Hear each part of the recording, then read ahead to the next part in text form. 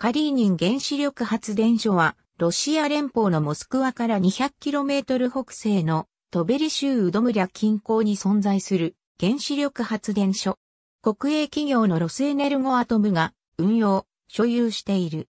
カリーニン原子力発電所は、トベリ州のほとんどの電力に加えモスクワ、サンクトペテルブルク、ウラジーミルなどにも電力を供給している。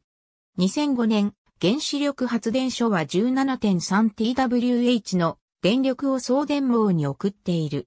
4台の150メートル高の冷却塔は地元のランドマークになっている。これらはそれぞれ96のコンクリート部品からできている。